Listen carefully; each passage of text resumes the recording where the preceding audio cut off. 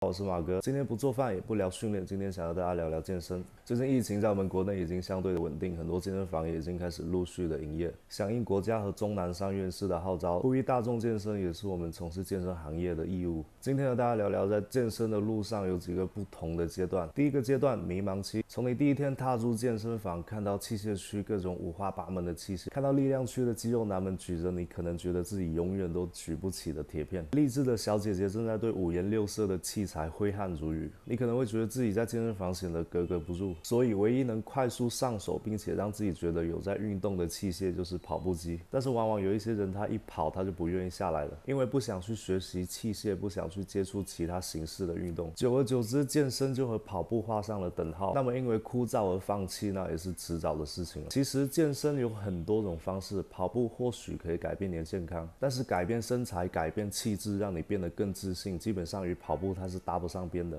再有一个就是一开始就在健身房瞎练，一通乱搞，换来的结果要么是受伤，要么就是没有效果，直接放弃。所以在对健身还不了解，在还处于迷茫的阶段的时候，一定要去学习更多的器械，更多的健身的知识，并且找到一套适合自己的运动方案。不要在你什么都不懂的情况下就去否定或者放弃健身这个事情。第二个阶段，痛苦期。我从事健身行业七年的时间里，遇到在这个阶段放弃的人是最多的。我之前发过一条朋友圈，有在讲过这个观点。健身训练的适应期，它至少是两周。科学的训练至少持续连续两周之后，身体才会逐渐的适应过度的疲劳和酸痛，达到一个比较好的训练体验和效果。很多人可能突然看了鸡汤，或者受不了自己的体重，决心要开始改变自己，但是往往在最煎熬的第一周就撑不住，捂着疼痛的大腿和手臂又回到了自己的舒适圈。过了漫长的一段时间，又开始找到决心，又重新的去折磨自己几天，然后又选择歇菜。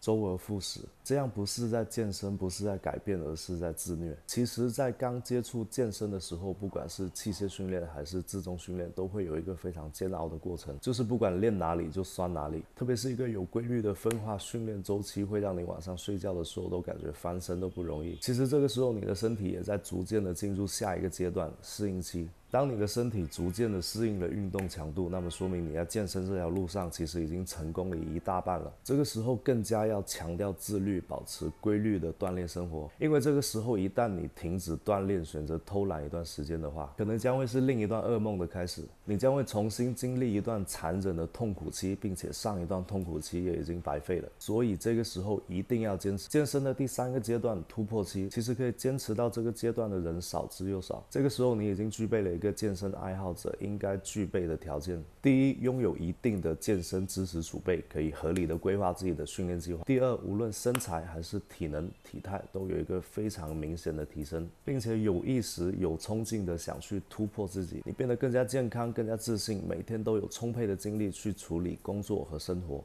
最后一个阶段，健身老鸟期，到了这个阶段，你至少已经有规律的锻炼了一到两年，健身已经成为了你生活的一部分，它不再局限于健身房，不管是在家还是出差，你都会有意识的去做几个卷腹或者俯卧撑，去保持自己的身材和活力。是去到健身房都可以挥汗如雨，在朋友圈记录打卡你的健身生活，并且影响身边更多人去参与到这项运动。在朋友之间，你往往就是那个身材最好、走在街上回头率最高的人。到了这个阶段，其实已经没有任何可以放弃的理由。从迷茫期到痛苦期，到适应期，再到突破期，再到最后，健身已经融入了你的生活。其实，往往最容易放弃的就是刚起步的阶段。所以，马哥给你的建议是一开始健身不要给自己一个太高的预期，什么一个月暴瘦十斤、二十斤，不然你要么会失望，要么会对教练给你的高强度训练计划给吓跑。循序。渐进的健身，一步一步的去突破它。除了健康和身材，我相信在这个过程中你会收获到更多的东西。总之，干就完了。希望今天我讲的东西可以帮到你。我是爱学做饭的健身教练马哥，关注我，解锁更多健康有趣的健身生活方式。好了，这期视频就到这里，下期。